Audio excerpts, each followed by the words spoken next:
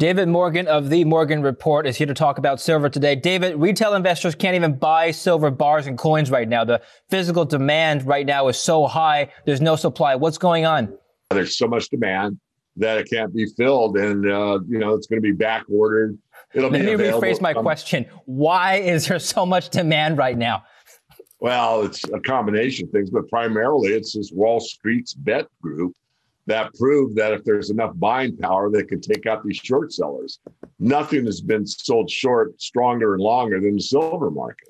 So somebody in that group or somebody's in that group, yeah, it's my understanding, said, "Hey, let's get to the silver market." What's interesting about the silver market is it's not a stock, so you don't need a brokerage account. All you need to do is phone up Kitco and place an order. So there's no, you know, double checking or waiting, you know, a week for your paperwork to clear and you can have an account. No, just call up and say, I want to buy some silver. When they call up and say, I want to buy some silver, say, that's fine. It's going to be, you know, I don't know what it is. I won't misquote you, David, but Kitco may say four weeks, six weeks, eight weeks. I don't know. We've seen this before. It happened in the uh, in the 2008 financial crisis. Silver hit about nine bucks, and we're paying about 13. It was like a 30% premium on most silver retail products but it was a silver retail product shortage, not a silver shortage. The silver market is quoted on commercial bars. We're not short of commercial bars yet, but there was such a demand for commercial bars for big investors because they look at uh, thousand ounce bars the way you know big investors look at hundred ounce bars. It's just a bar of silver.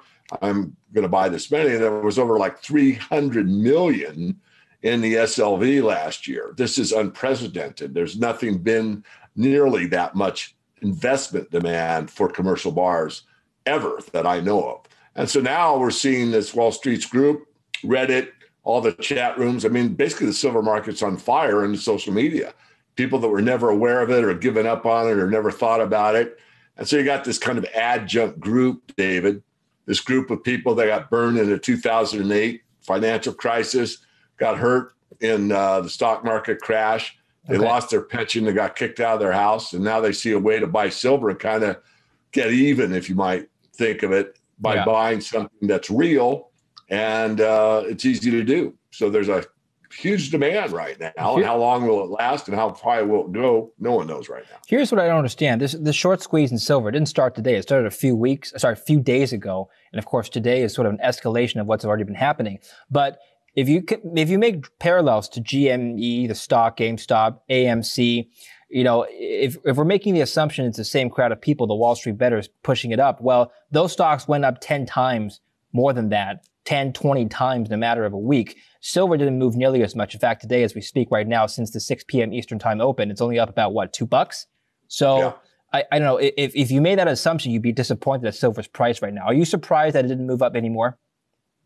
Not at all. I mean, I spoke with someone that was uh, intimate with the Hunt brothers. He called me. I've known him for years. We don't chat that often. And he asked me what I thought about all this. And uh, we both agreed that, you know, I believe and could prove and wrote in the book, The Silver Manifesto, all markets are manipulated, but silver probably more than any other. And uh, we agreed on this phone conversation that you know, you're going against some pretty tough people when you're going against the professionals on Wall Street that short stocks. But when you're going against the master manipulators of all time, which is the silver shorts, you're up against the greatest sharks out there. Doesn't mean it can't be done. The Hunts proved it can be done. All they did was buy physical and futures. Are, I don't mean to interrupt you, but who are these greatest sure. sharks out there? basically the working group of financial markets. It's the head of the SEC, the CME, the CFTC, the and all these you know entities, and most of them are doing a job that their job description would be to protect us, but really it is to not protect us. It's to protect the big moneyed interests of Wall Street, not the investing public. So that's been turned around by this Wall Street Bets group, and people are starting to wake up and see it's not just the precious metals that have been suppressed like this. It's basically almost anything you want to name, GME being a prime example. What if we had to push silver, the futures market, up 10, 20 times like GameStop and AMC? What needs to happen on the demand side? How much more volume do we need to see in the market right now? No one knows. I would say if we doubled what we saw last year. So, in other words, first of all, no one sells. You can't have any selling pressure, whatever. Okay. So everyone that owns it now is waiting for delivery holds. Now, on top of that, if you got somewhere in the 250 to 350 million ounces, what we saw going to the SLV last year, and no one's selling at the same time, I think that'd be enough. I think the market's that tight. Obviously, the retail market's that tight. How tight is it in the silver market, the silver commercial bar market? Right now, all the bullion banks only have about 150 million ounces that's in the registered category. But what will happen? I mean, we've already had a precursor several times, David. We saw it happen to the Hunt brothers who changed the rules. The rules already exist on the COMEX that you can only take 1,500 contracts in any delivery month, which is only 7.5 million ounces of silver.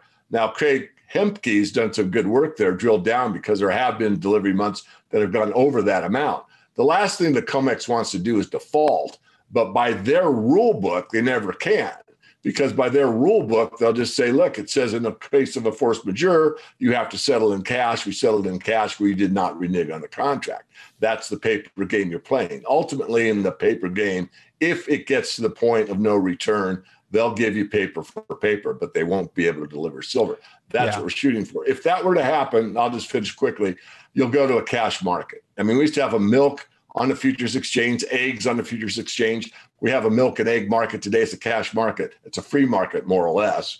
That you just you need the eggs, you need the milk. What are you going to buy today? You're going to pay this amount. Okay, deal done. The retail market that's pushing the stocks or the price up. Now, this market are they are they moving into the paper market, the futures, or are they moving into the physicals? Because there there is a difference here. What do you think is going on?